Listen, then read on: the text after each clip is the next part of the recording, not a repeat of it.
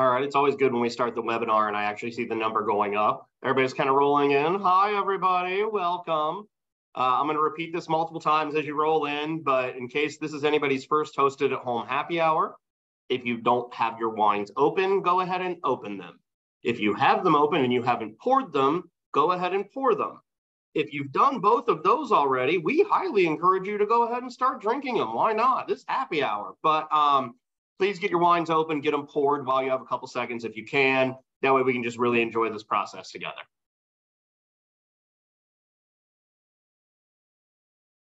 We'll normally give everybody about one more minute to start getting rolling in and then we will make things happen. Um, for those of you that are in, welcome to your April hosted at home happy hour. We are super psyched to have you. So uh, yeah, we'll give everybody like another 30, 45 seconds and then we will get rocking and rolling.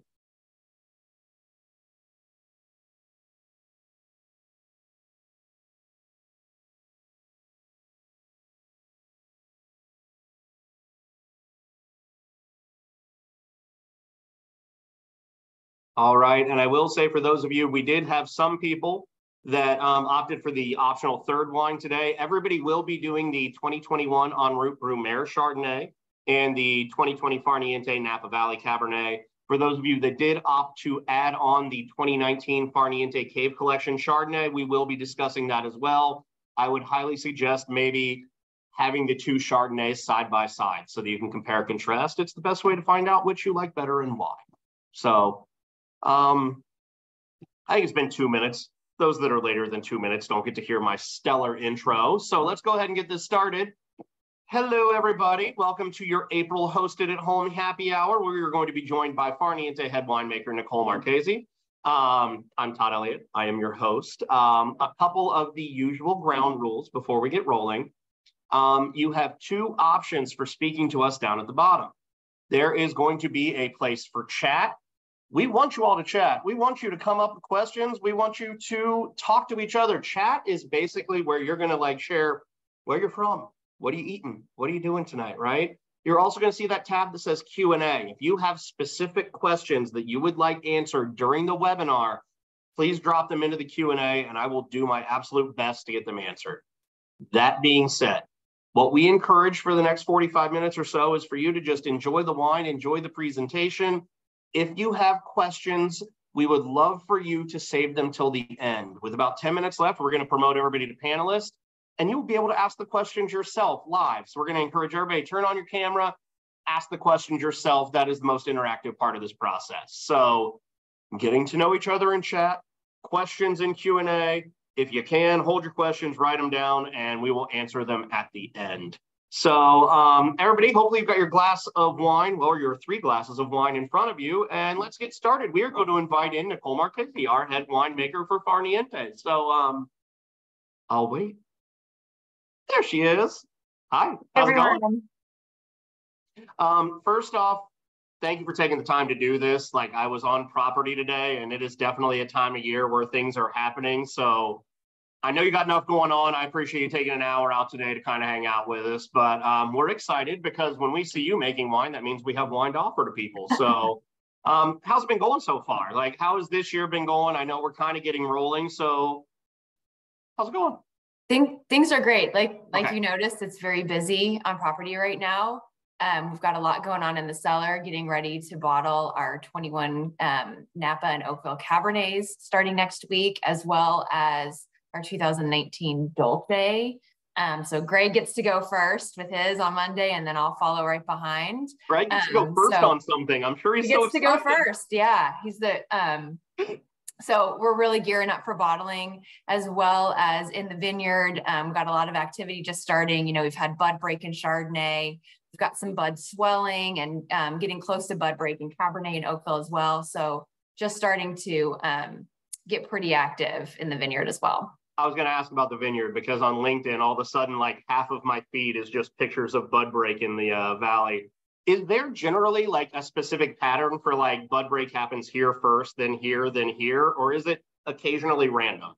Throughout uh, no, it's it, it's pretty consistent. You know, one of our earliest vineyards is always a vineyard in Coombsville called Berlenbach. It's on the hillside, and it's always our first place where you see the buds start pushing and okay. the shoots and the shoots growing, and then it kind of it kind of goes into Coombsville a little bit and up Valley and Chardonnay and then down. It, it kind of goes around. It, really depends. But what's cool is that when you we track all those dates when there's bud break, when we have um, the clusters or the little clusters turning to flowers, turning into um, turning into the small grapes.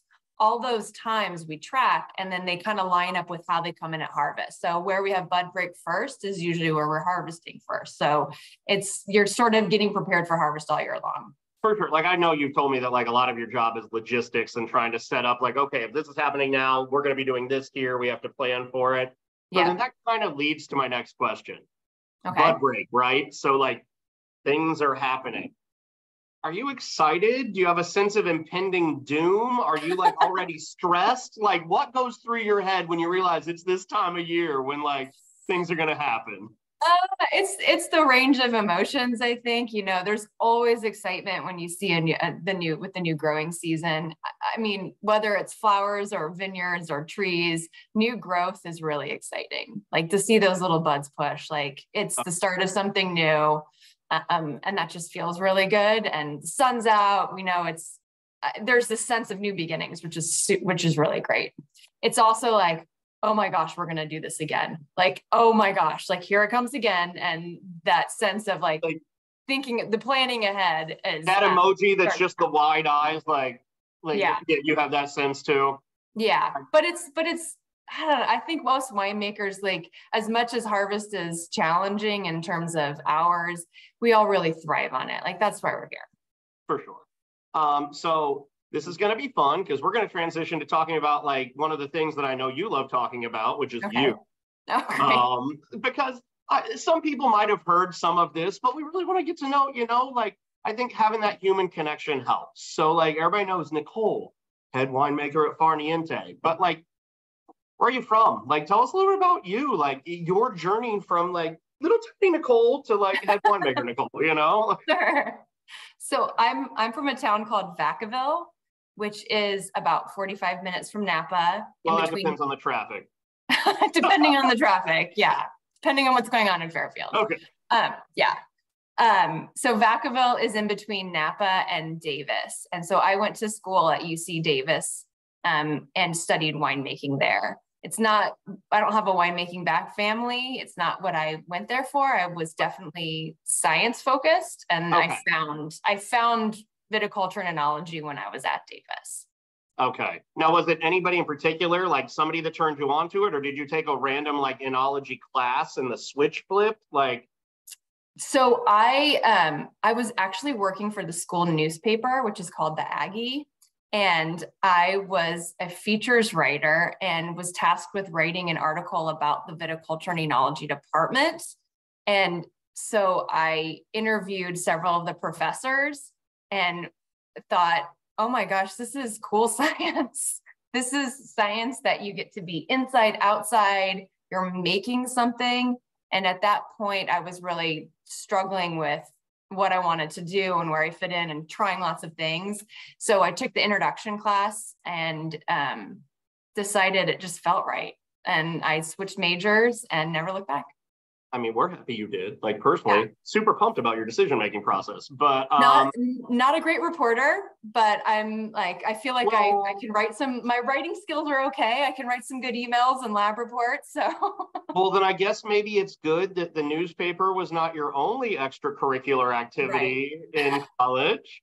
Um, what sport might some people on this call be shocked to hear that you might have played at Davis too? Yes. So random uh, random sport. I played rugby for two years at UC Davis. And this is why nobody team. crosses Nicole. yeah. Um, I played growing up. I played lots of soccer and softball, and uh, when I got to um, university, I didn't play anything my first year, but was really missing. You know, being on a team and sports have been a really big part of my life, and and you know collaborating in that team environment, which I definitely find uh, in winemaking as well. Um, and I had a, a friend who was a year older than me who was like, you should come out and try rugby. Like it's a club sport. Um, it's a lot of soccer players. And um, so I came out and I found like there's really amazing people. It's really a tight knit group. Um, I played winger and fullback. So in the backs, a lot of kicking and running along the sides. Um, my mom came to watch me one time and said, mm, I don't know if I ever need to see this again. Like, and I was, um, but I said, mom, I just, I, I run away from the big girls and kick it and run away. Uh, but it was, it was a really great, it was a, just a really great community of, of women playing rugby. So when like there starts the, the all Napa Valley rugby league starts, you will captain the Farniente team. I can I can join in. I can definitely okay. join. Like whoever really the guy is that just stands in the middle for everybody to huddle around, I can be that guy. I'm I got a low center of gravity and I'm not very mobile, so it's gonna work out really well. Awesome. Okay. You know what's so funny is uh, my hometown. They actually have like a very highly rated like national high school rugby program, and the whole base of it was ex soccer players. So when you said that, I was like, that makes such complete sense. Yeah. It's really awesome. Nice. So, um, your winemaking journey. You're at Davis, and in between, like you know, your hard hitting journalism and your rugby life, you are now learning how to make wine.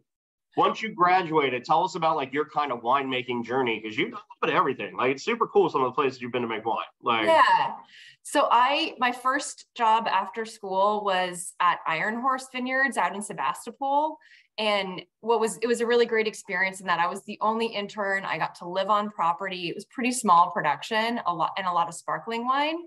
Um, and a lot of what i did at the beginning was like working on the bottling line. And i was like the capsule girl. I'd sit there and put capsules on as the bottles went by and then scrub off bad labels. So it was very it was a great first experience in that like not all of winemaking is glamorous and sometimes you gotta there's a lot of monotony and there's just things that have to be done but it gave me an appreciation for like all different aspects of it sure. um and and i really appreciated getting um great training from the winemaker there at, at iron horse um after iron horse i went to new zealand and i worked in um, Hawke's Bay at a winery called Sacred Hill. And that gave me a great perspective on really large winemaking production because it was a facility that was running 24 hours during harvest. So you did your 12 hour shift and then another shift came on for 12 hours. So it was great to go from really small to really big and and see both,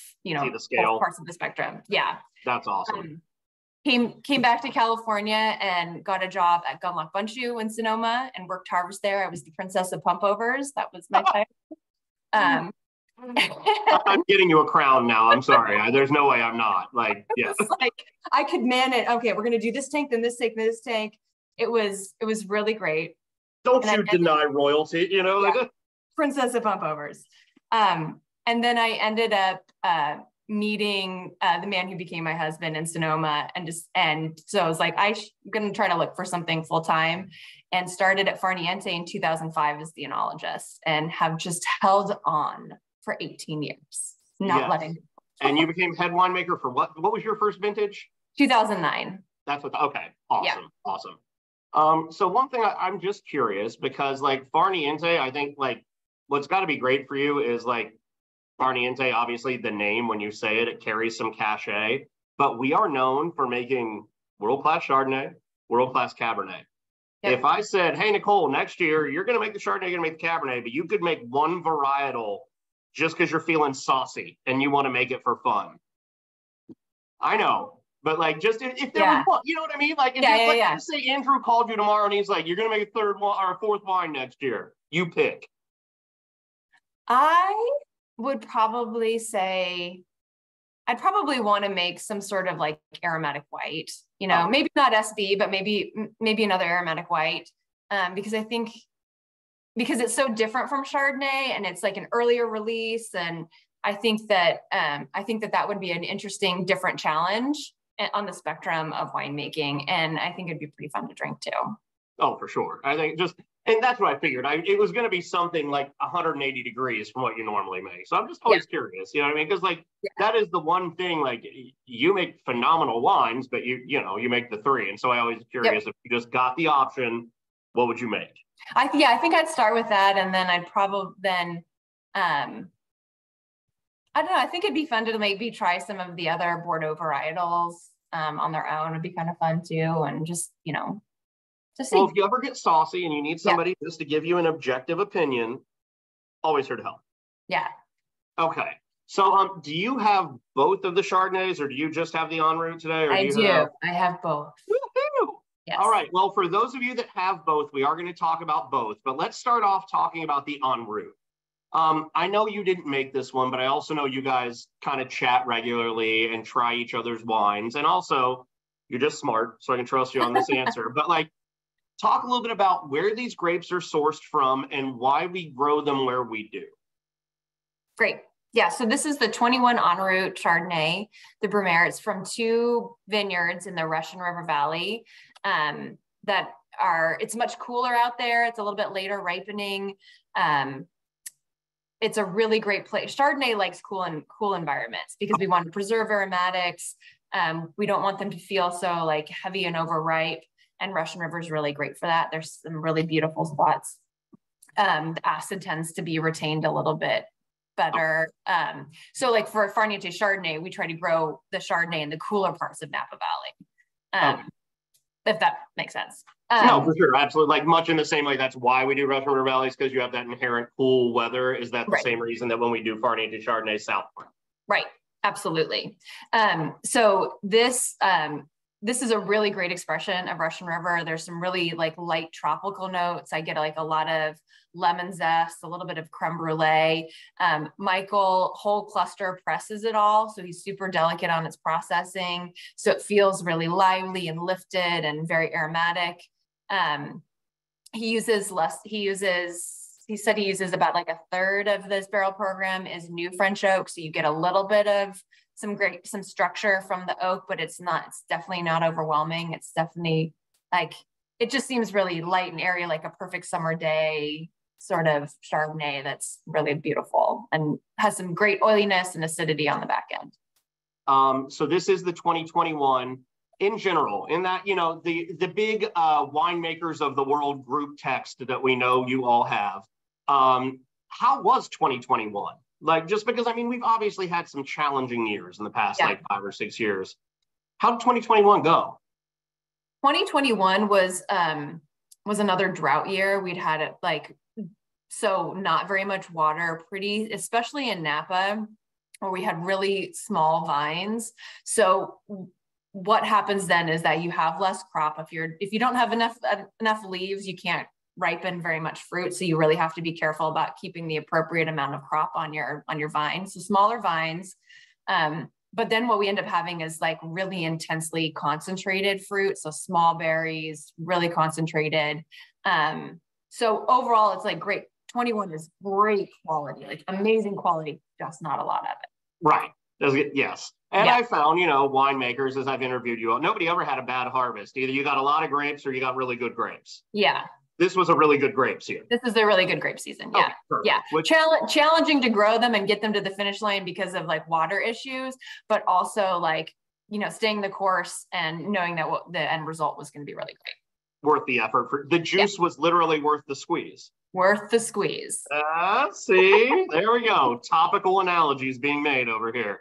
Um, so I'll tell you what, like one thing's let's do like the kind of tasting notes on this wine. I know there are differences in production between how Michael makes the en route and how you do the Farniente Chardonnay, but let's do kind of just your tasting notes on this one first, and then we'll talk about production differences. So Yeah. tell me what you're getting on this one. For me, I'm getting, I get like a little bit of white floral. And I, like I said, it's very lemony and lemon zest and like really like very subtle hints of tropical. Like it's not over the top, like super, super fruity. It's like really lightly layered. And white floral is what really is coming up for me right now. Um, now, is that something that is indicative of Russian River Valley Chardonnays, or is Michael just super good?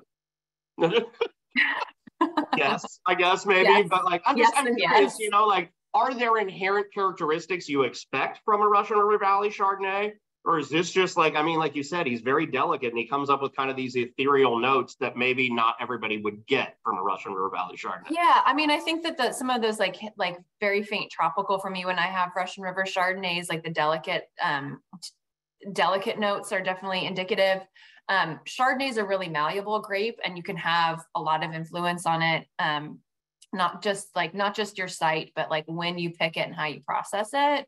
And so i think the way that michael has chosen to make this chardonnay is he's really taking what the grapes have to offer with the and um, and capturing those floral notes and cap- capturing that by being by his gentle processing by not overwhelming it with oak um, by really letting the the sites shine. It's really it's really pretty it really is. I mean, I, I definitely, I, the second time I got to try it was yesterday and I was like, oh yeah, like we, we make some good Chardonnay. Like I always, you know, run straight to the Cabernet and I'm just selling myself short. Um, so just real quickly, winemaker knowledge. This is the one Chardonnay that our company produces that does any malolactic fermentation, correct? No, uh, you know what? I think in past years, there's been a few vineyards that they've sourced from that they've tried a little bit, but in these one, in this wine, he said no malo. I think okay. the acidity no, was in a great place. And um, so it's super, it's still super fresh and he, and he didn't need anything to go through. Well, then let me ask you this. If a winemaker ever chooses to, what is, and it, cause like we don't do it, but I'm not one to like bag on a different production style why would somebody do malolactic fermentation? Like, what is the point? Like, if he's done that in a couple of other vintages, what do winemakers look to get out of that process? So, uh, um, malolactic is a great tool. Um, you know, if the number one, if you want to have the butter flavor, if that's your style choice, sure, sure. then that's great. You can get that. But there are also there are also ways to do malolactic fermentation without enhancing butternut, the, that buttery flavor. But you would do it to change to um, you would do it for mouthfeel. Okay. And for the and for acidity. So there's there are spots along the Sonoma coast where the acid in the grapes is so high because it's so cool and that's great, but you would maybe go through some malo to soften that acid out so that it's still it's you get the freshness from the great acidity, but it's not like ripping the enamel off your teeth. Gotcha. That makes sense. Okay. Yeah.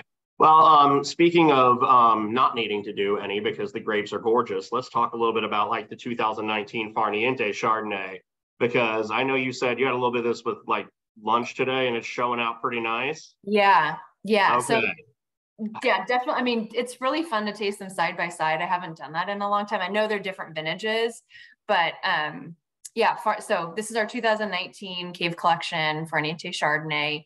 I i personally love our wines with a few years of age on them. I think that some of that overtly fruitiness that can come, sometimes be apparent when they're really young like tones down a little bit.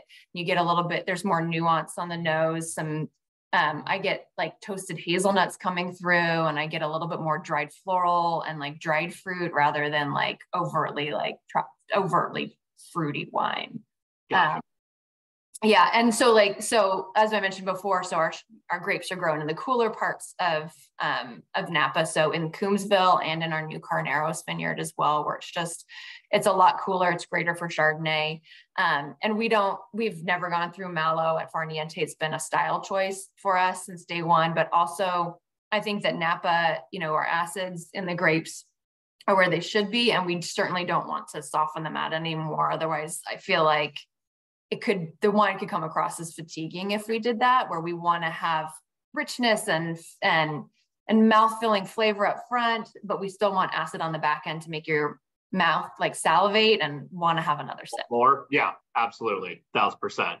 Um so farniente chardonnay. Like if people come into farniente like and i ask have you had any of our products before? If they say yes i've only had one i would say 90% of the time it's Farniente Chardonnay. I mean, it is the one wine that we make that I would literally consider iconic. Um, do you find that gives you more or less pressure? Like, do you feel more pressure every year because you've set this bar so high for yourself you have to meet every year? Or is there a little pressure taken off knowing that, like, yeah, but people love this wine. So as long as I don't screw up, it's gonna it's yeah. gonna be gangbusters, you know? Like I'm curious. That's a good que- that's a good question.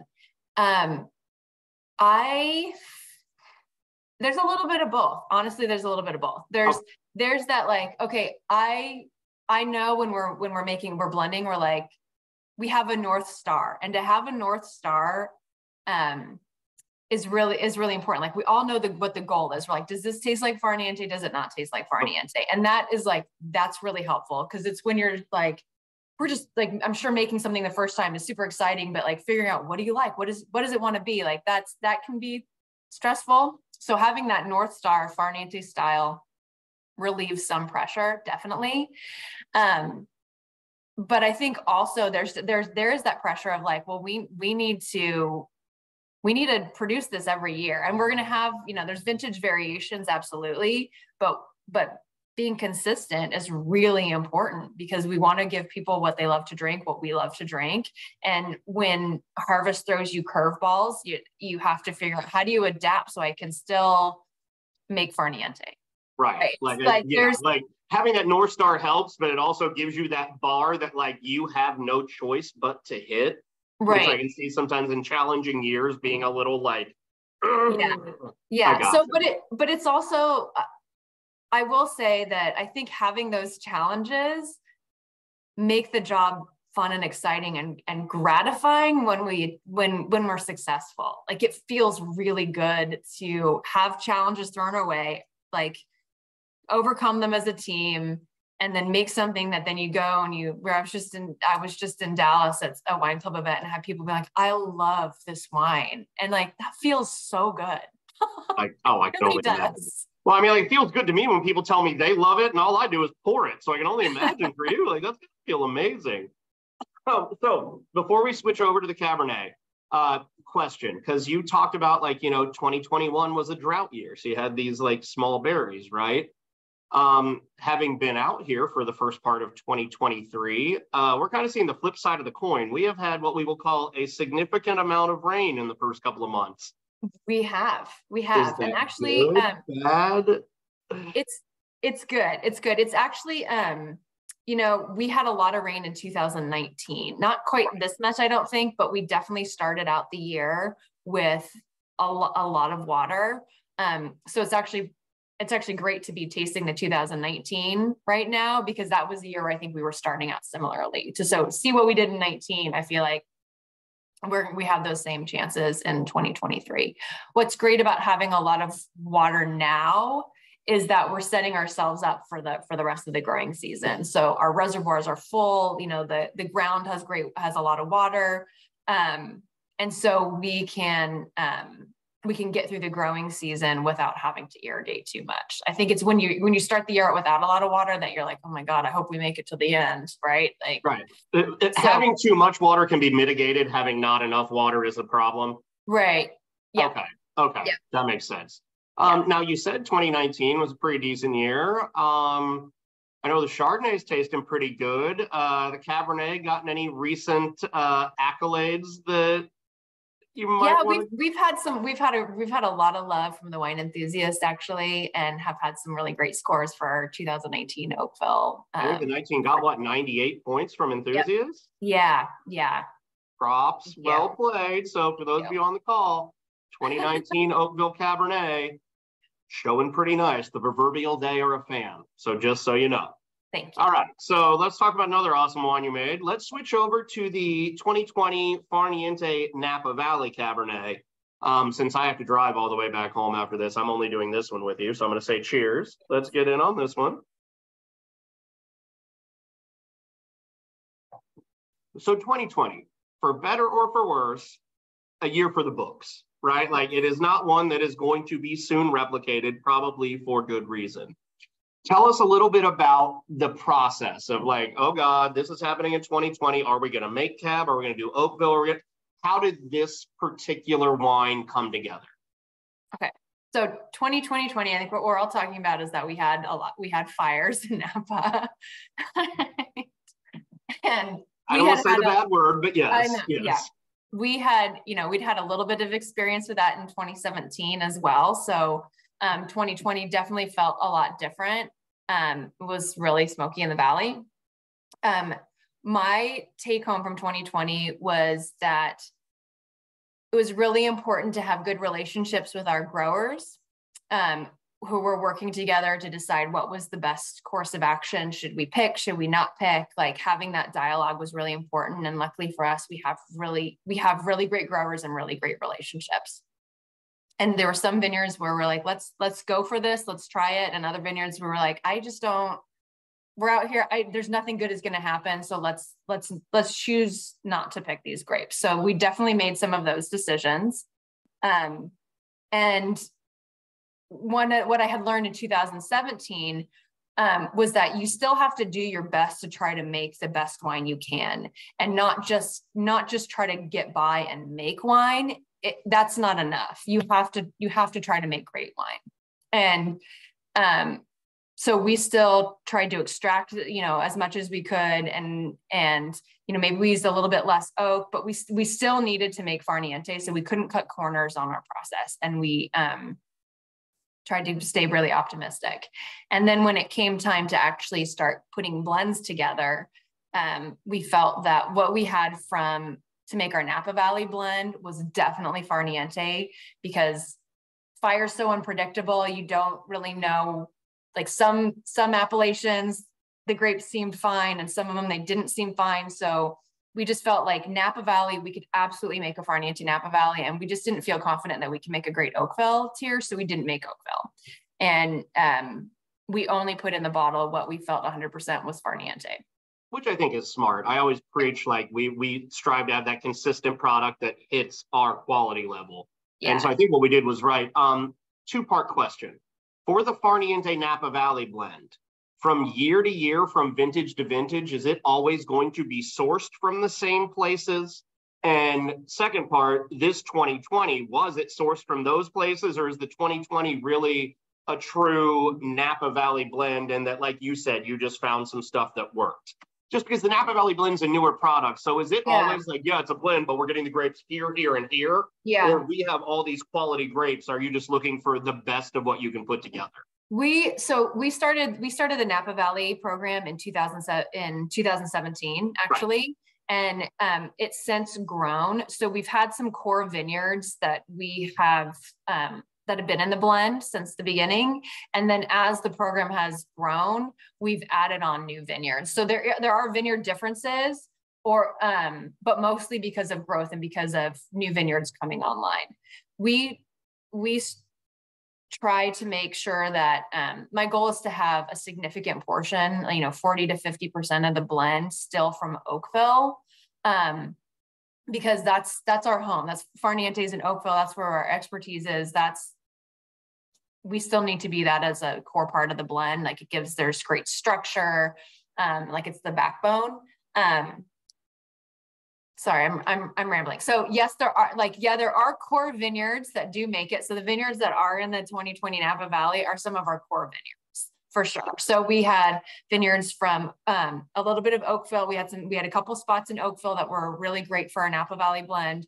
Oak Knoll, which is south of us, had some really great stuff um, a little bit from Calistoga. We just sort of it, it, the fire, the effect of the fire was not linear. It's like it, it was unpredictable. So, um, yeah, if that answers the question. No, it does. Like it really is like you're just you're trying to make a quality product, but you're not necessarily like, okay, it has to be this grapes, this grapes, and this grapes every single. No, I mean we yeah. And then as we've had more experience in these vineyards that we've brought online, like you you start to know like this is what this is bringing to the blend. Like we, for example, we've got this great vineyard in Oak Knoll, and where it's a little bit cooler than um, than Oakville and those grapes tend to have a lot of color and a lot of structure and maybe not quite as layered, it's not quite as layered in their fruit flavors, right? So what it's adding to the blend is a textural component. And I know that that's what I'm going to get from there. And okay. just like with more years of experience, you start to figure out, well, this is how this one fits into our Napa Valley blend. Well, then that leads me to a question because we only started doing the Napa Valley blend in 2017. Before we get into specifically drinking this one, why? Why do we even start doing an Napa Valley blend? Like the Oakville is like legacy, but like I know we have a reasoning behind it. We weren't yeah. just throwing stuff at the wall to see what sticks. How'd this whole thing come together? So in 2017, we just we had we had this sort of like come together moment of like the market and like our just and people out in the country they want more Far Niente Cabernet, and we can't couldn't make enough and as much as I wanted to make more Oakville wine, like Oakville's a really small appellation and we can only make this amount, right? We have right. all these other people who want more Far Niente Cabernet. And we thought, you know what, this is a really great time for us. And we had um, some vineyards coming online that we thought, we have what a great opportunity. Let's make Napa Valley Cabernet. And we'll still keep our Oakville for our wonderful club members and people who come to the winery. But we're experts at Cabernet, especially with how all the years, you know, making wine at nickel and nickel, all the expertise of being in different appellations. Like, let's bring that knowledge. And and uh, we've been making cab for a long time. So let's let's do this. And I, I like to joke that um, I'm sure you've heard me say this before. It was so amazing for me to drive north of Oakville in Napa. There's a whole half of the valley like, I wasn't getting to drive. I'm like, what? This is amazing. Because my Is journey would have stopped. New? like Calistoga is amazing. um, here. Oh, yeah. And what's when, what is what's really great is that Farniente, the, the first few vintages of Farniente were actually Napa Valley Cabernet. A lot of it was from Oakville, but we were in Napa Valley, and it wasn't until about 2000 that we switched to be to being Oakville. So it's really kind of, kind cool of feels full circle. History almost. Yeah. That's yeah. really cool. Awesome. Yeah. Um, well, before we start talking about this one specifically, we're on the Farniente Cabernet kick. What can you tell us about like the future of Farniente Cabernet? Like, what, what do we got coming down the pipe? Are we going to kind of focus on what we're doing? Like, oh, like I, I think people praise our consistency, but new stuff is fun. Like, what, what do you see for the future of Farniente Cabernet?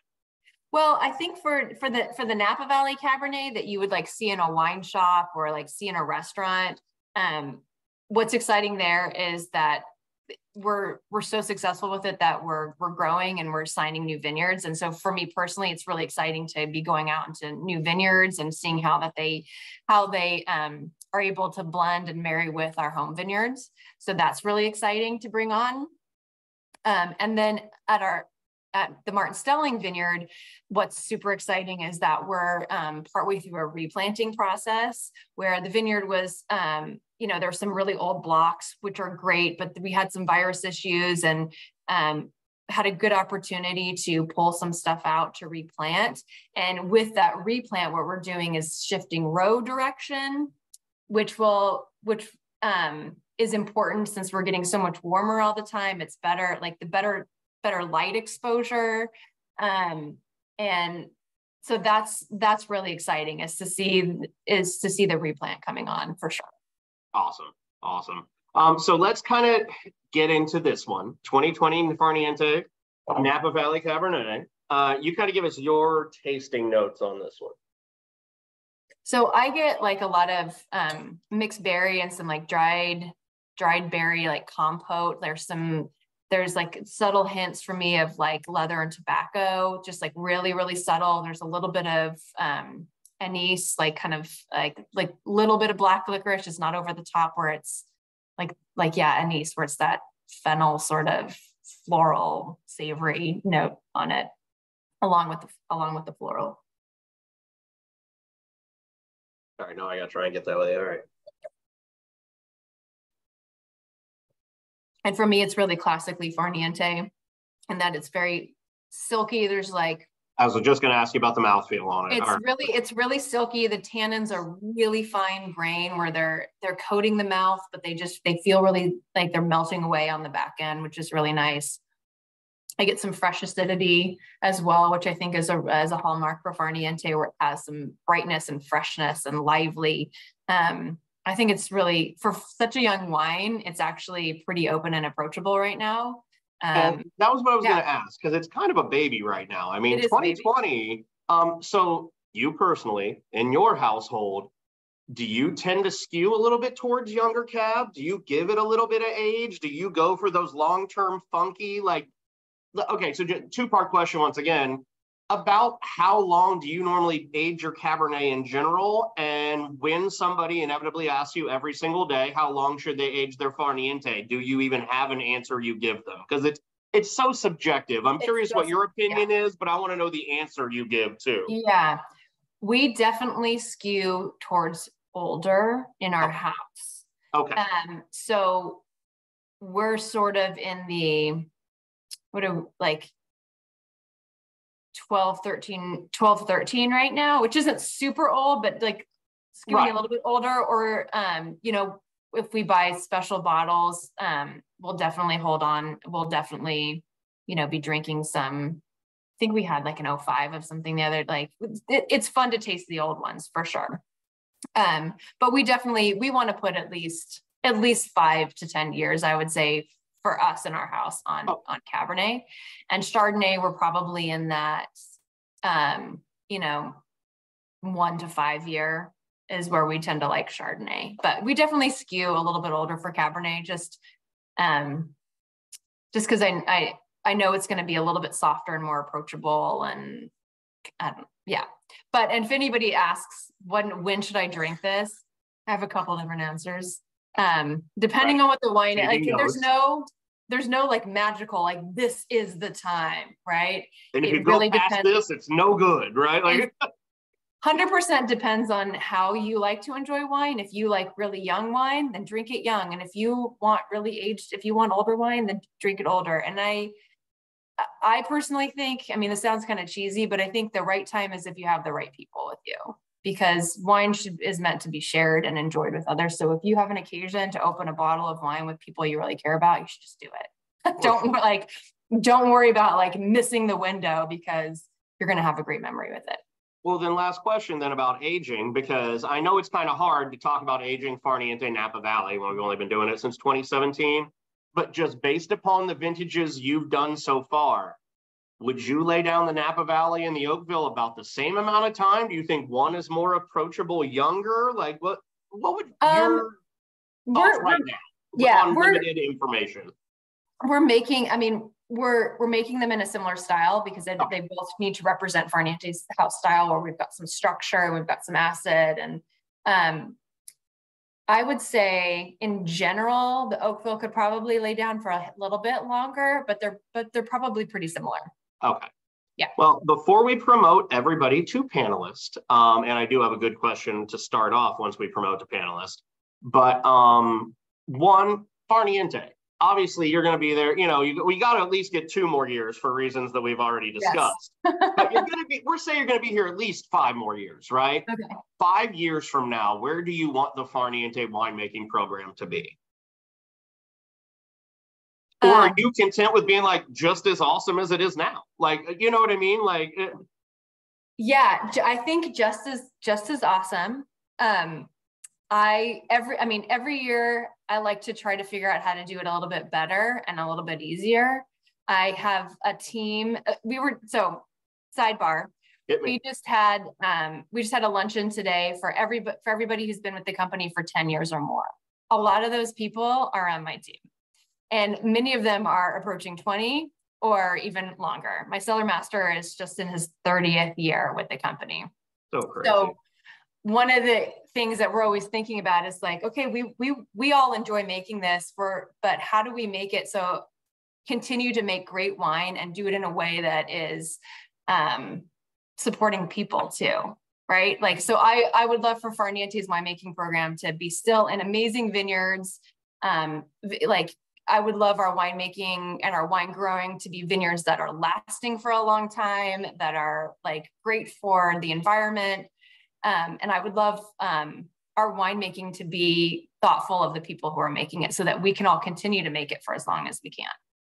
Well, then, uh, second part of the question in 10 years, when obviously you're still the head winemaker of Farniente and people are writing articles about you, like Nicole Marchesi, best winemaker in Napa, right? Like, what do you want him to say in that first paragraph? Like, what, what do you want your legacy to be in the Napa Valley?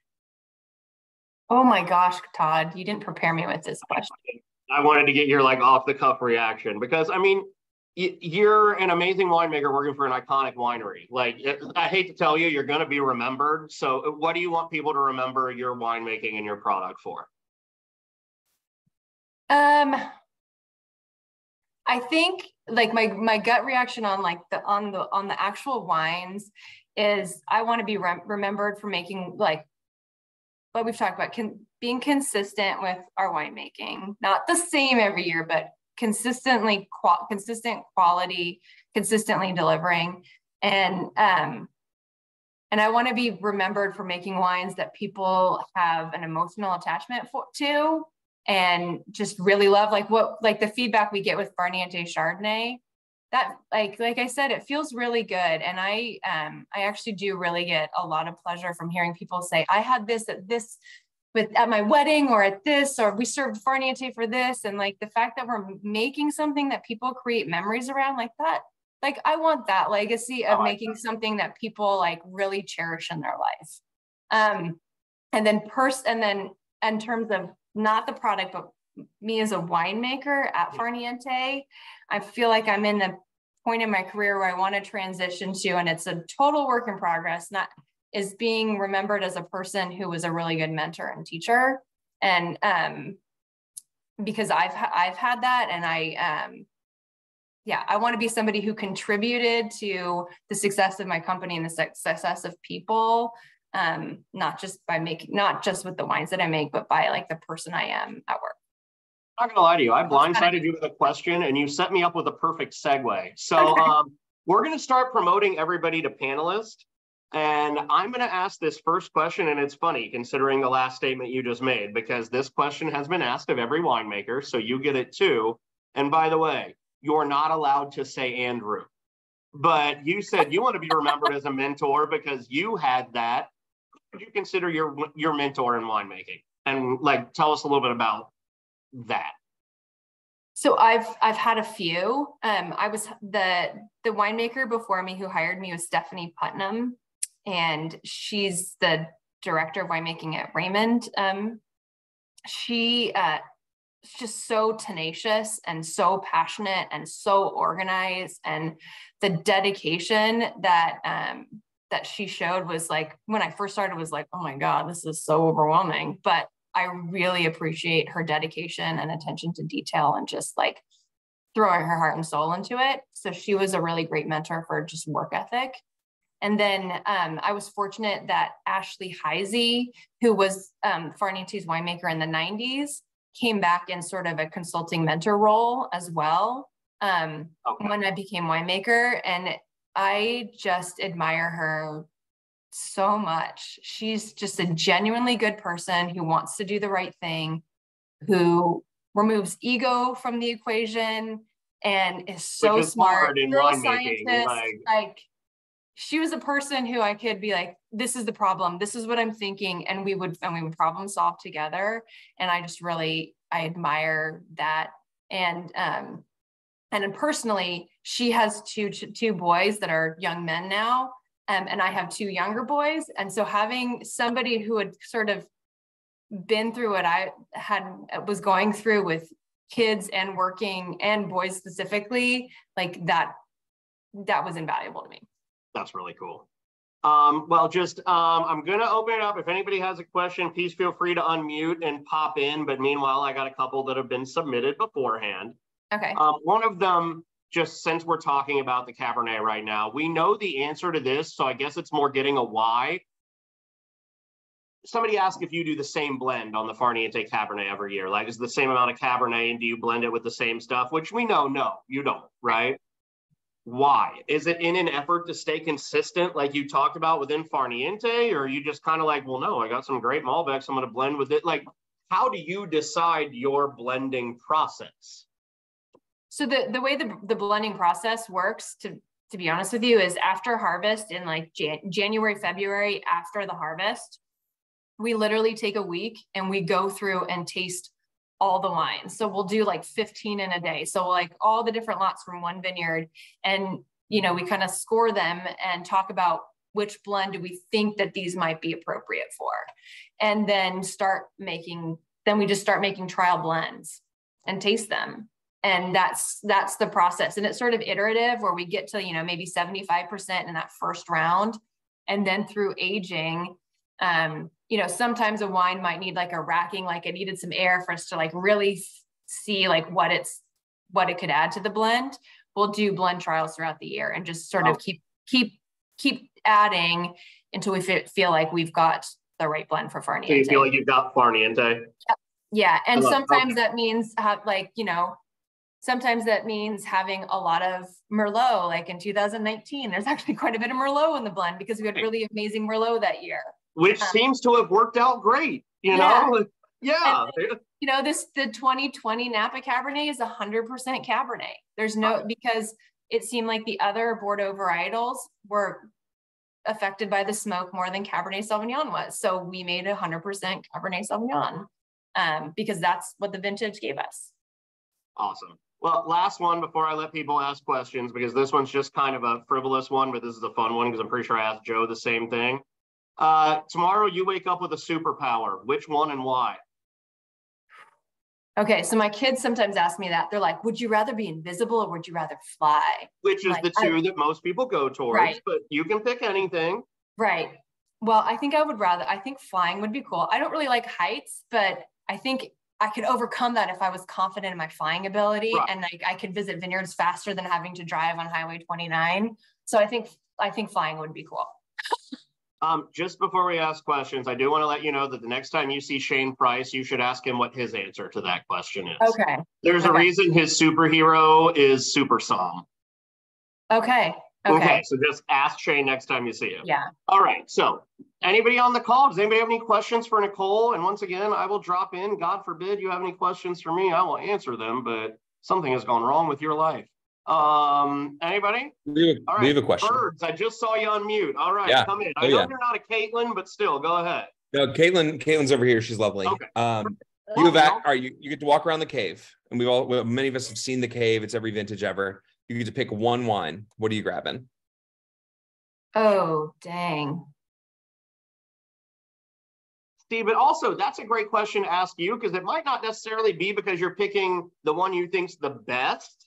It might be just because it's one that you didn't Yeah. make or one that maybe you haven't tried in a while. Yeah, if we let you loose in the wines in the library, what bottle are you opening? Okay. So Cabernet. Cabernet, I'm probably going for something from the early 90s. I think like the last time I had the 1994 was really amazing. So I might check in on that one because I have a memory of that being really good.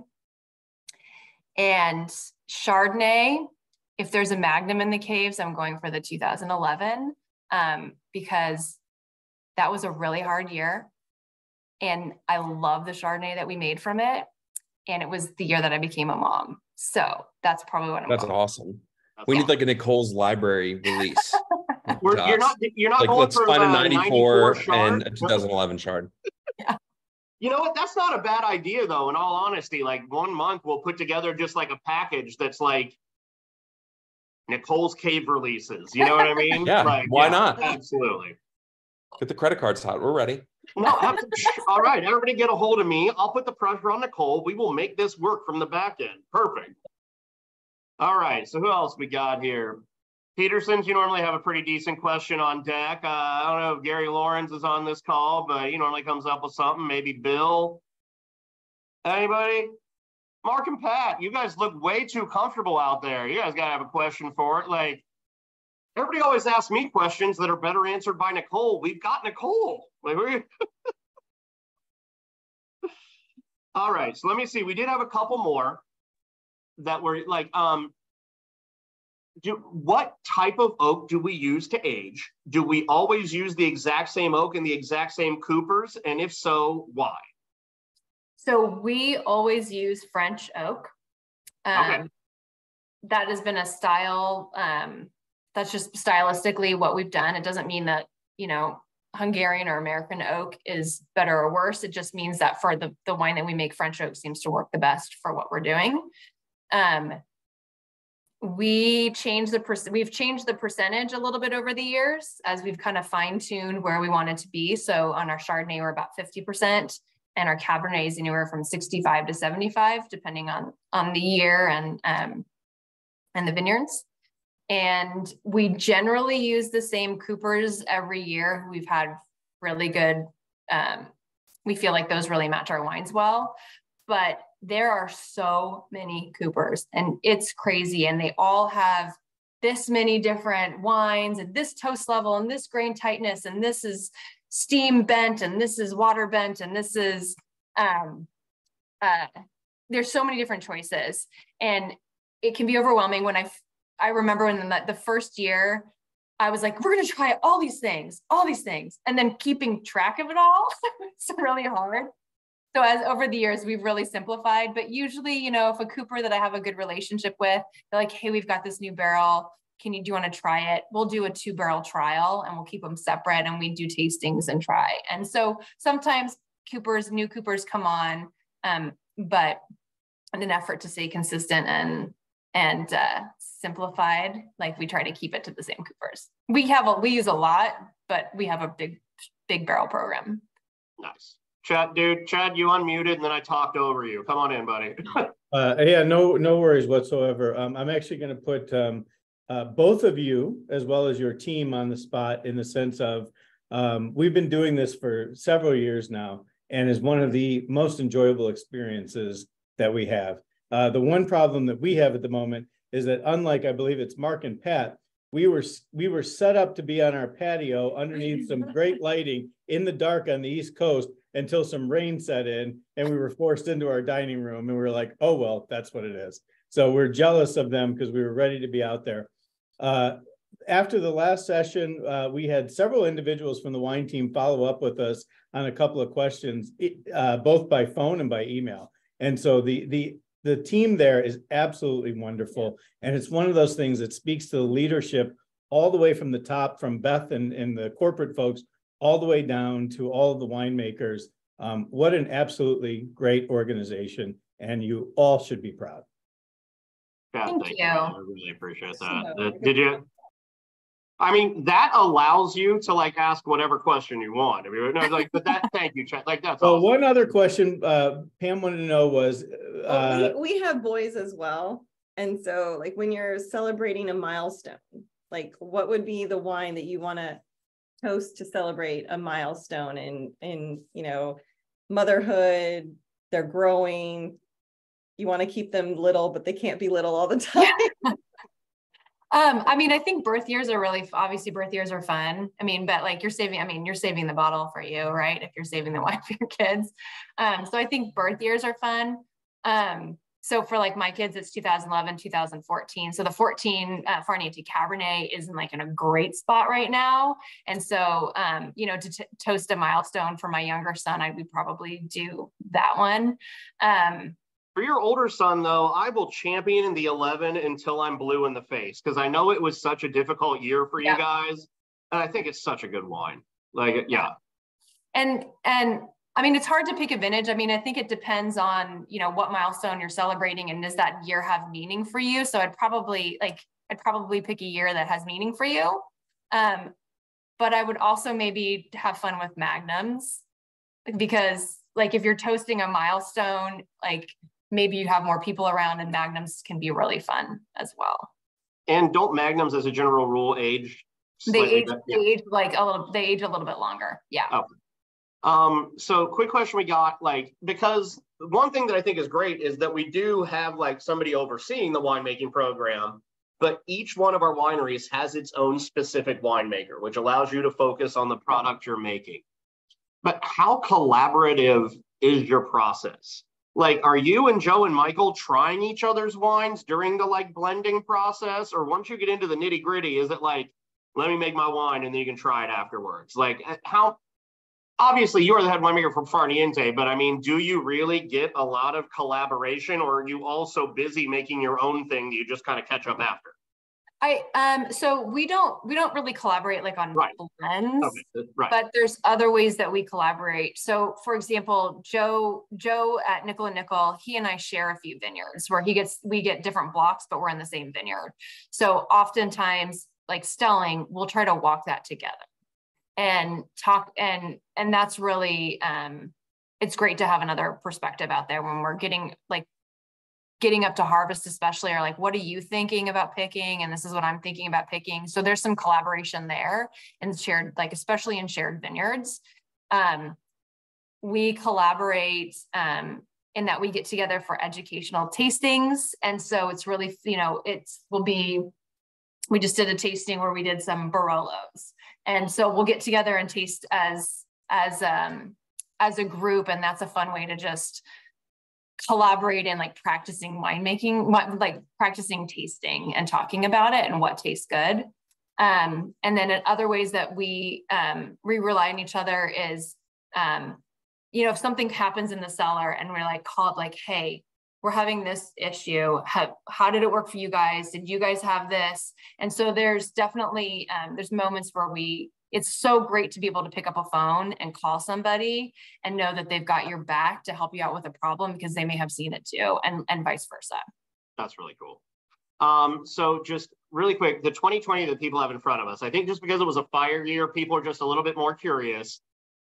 Trying to mitigate the effect of the fires and the smoke. Is that more during the winemaking process, or is that a lot more important when you're testing and selecting the grapes? Like, is there anything you can do to mitigate it when you're making the wine? Or do you just need to make sure your grapes are good before you even start making it? Or is the answer just yes, all of the above? It's a mixed bag, Okay, honestly. okay. So you you can you can send out and test your grapes and have an idea if you think that you're starting with something that might have a problem. Um, with with red wines, um, what they've discovered is that a lot of the smoke issues are in the skins. So if you a lot some people try to not be on the skins for as long to try to mitigate the amount of smokiness. Um, what we found in 2017 was like if we tried to not be on if we tried to not be on the skins then we made a really um, thin weak wine that just wasn't good anyway Right. so we're still we're still staying on the skins to try to extract. Um, we used a little bit less new a little bit less new oak so that people so that you know some of the compounds that you um, smell in a smoky wine are actually the same compounds that you would get from a new oak like a really toasty oak barrel. Um, so maybe just limiting the amount of new oak. Um, there's there are a variety of products that people say can work. There filtrations that people say can work but ends up what's happening is that you filter it it goes away and then it comes back and um, so it's there's still tons of research being done at Davis, at Washington State University is actually doing quite a bit. Australia has done a ton of um, research, so they're a really great resource. Um, yeah, it's it's a mixed bag. Okay, I was just curious. Like, basically, you're just doing everything you can to mitigate it on both sides of the coin so that you can make a product you're proud of. Yep. Yeah. Well, um, we've gone a couple minutes over, but if anybody else has a question, I would love to still give you the opportunity to get it answered. Bueller, Bueller, something D O O economics? No, all right. um, by the way, found out for any movie buffs, Ben Stein absolutely ad libbed that whole thing. They just said go up there and act like a boring teacher, and that was what he came up with. I thought that was super awesome, right? All right. Well, um, I'm going to say this first off. Huge thank you to all of you for taking some time out of your evening to hang out with us and drink a little bit of wine. Massive thank you to Nicole for taking time out of your busy schedule to come and hang out with us. Um, for those of you on the call a little bit later tonight, you are going to get a copy of a recording of tonight because we gave you so much amazing information. You're going to need to watch it back. And just know when you decide that you need to restock, please on the website use the code HOSTED, H O S T E D at checkout, and you will receive 20% off of all the wine so that you can get stocked back up. Um, we are looking forward to seeing you next month. You will get the information on the wines shortly but it is going to be a get to know you with our newest state chef, state chef Phil, who came over to us from the Thomas Thomas Keller wine group. Uh, He's Thomas amazing. Keller restaurant group. Oh, I mean, come on, absolutely. I'll say he's amazing now. I will not say it while he's on camera. But yes, we, we are very much looking forward to all of you joining us next month. We'll get to know Chef and we'll enjoy some really good wine again. Um, I really appreciate y'all being a part tonight. My name's Todd Elliott. I'm your hosted at home host, and I better see all of you with friends next month. Um, bye, everybody. Bye, Yep. thank you. Warren, I'll see you next month, buddy. Thank you, everyone.